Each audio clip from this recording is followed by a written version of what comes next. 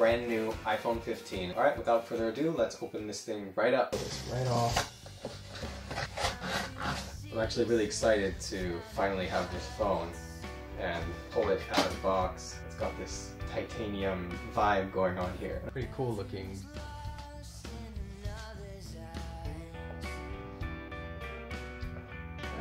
So here it is coming out of the box. It looks nice clean, brand new. And this is almost overwhelming to me because I've never had a phone with a camera that looks nearly this nice. This is the current iPhone that I have and it's nowhere near as nice looking or as premium looking. The real, true, secret reason why I decided to go with this phone is because Apple revealed that they are going to be making it compatible with 3D filming like this. You'll be able to take stereoscopic 3D photos and videos, which can also be enjoyed on the Apple Vision Pro, but I'm most excited to view them directly on this 3D display of the Nubia Pad 3D and the Lume Pad 2. It's going to be so amazing to have crystal clear photos taken on this thing viewed in glasses free 3D. Of course, I'm considering getting the Apple Vision Pro too, but this is just so much more immediate and accessible. You don't have to put anything on, you can just look directly at these tablet displays and see it in 3D. I'm gonna take it out of here.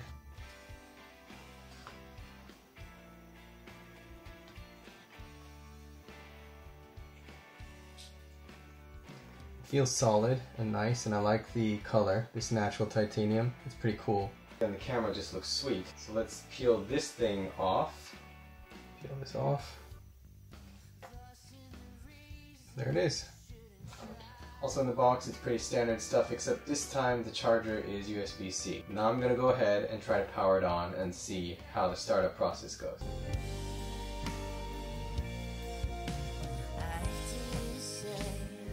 Alright, got pretty much the same startup screen as the MacBook that I recently did a unboxing of.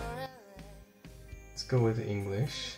Country, you can choose the size of the text and icons on the phone. I'll go with the default setting. And now there's a quick start thing. So if I bring my current phone, I can bring my current phone right next to it and then it'll give this prompt where I can actually do a quick start. I'm gonna hit continue. Let's see how quick this actually is.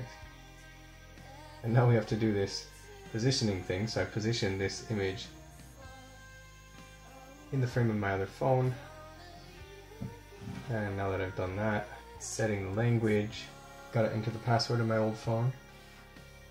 It's gonna have me set up my Face ID. So I'm gonna do the Face ID setup right now and move the phone around to really capture everything to get it ready. That was very quick. Okay, Face ID is all set up. Now it's gonna have me transfer data from my phone. You gotta agree, and it's working on transferring the data over I don't know how long this data transfer process is going to take, but it's pretty cool that it allows you to just directly transfer data over just by holding your phone next to the other by your old original device. Okay, so finally the data transfer is all done. It's just telling me I can put this on silent mode. And this is just introducing the fancy new action button right here. And you can customize it. Let's just see what that says. Gave a quick intro saying that you can mute stuff with it and do various different things. Welcome to the iPhone. Right, let's move up. Good to go. So it looks like the iPhone is pretty much ready to use now. It just took a while to get everything migrated over from my other iPhone, maybe about an hour and a half. So it was quite a lengthy process. I had to stop the video in order to finish that up. But now that it's done, it looks kind of pretty much the same as my other iPhone, but I'm expecting it to be faster. And then the one thing, like I said, it's just the camera. Even without the 3D, this camera is a, it's just a huge leap beyond what I had in my iPhone 10.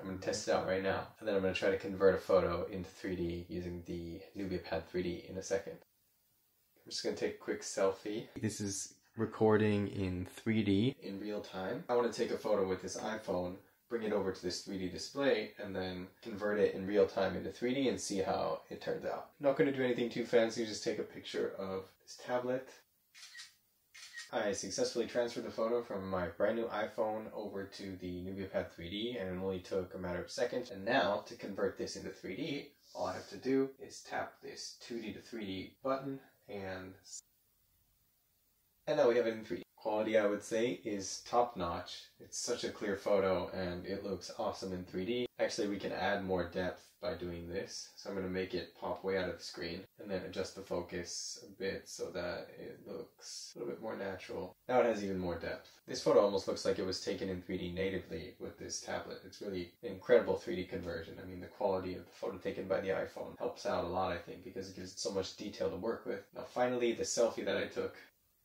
Nubia Pad 3D can't display in 3D when it's vertical, but it can still take vertical photos like this and convert them into 3D. And this is amazing. I increased the depth to the maximum amount and it looks so three-dimensional. It's insane, like popping way out of the screen. Wow, that's just incredible. This is the future that's coming. Not the iPhone itself, but this 3D future and I'm a big Apple iPhone fan, but what I love more than Apple is just amazing technology. This Nubia Pad 3D is what I classify as a seriously incredible piece of tech. There's nothing else out there like it right now that has a 3D display like this that can do all these different things in such a comprehensive, seamless, and high quality way. What I've done here is not really what Apple is planning, which is to make 3D photos compatible with this. This has a 3D camera built in, but the feature is not released yet, technically. It's not available yet on the iPhone 15. But once it becomes available, you won't even need to do this conversion process I just did. It'll be able to take the photos in native stereoscopic 3D, calling it spatial 3D photos and videos, and then bring them right over to this. You won't have to convert anything with AI. It'll just be in 3D because you can take it natively on this camera.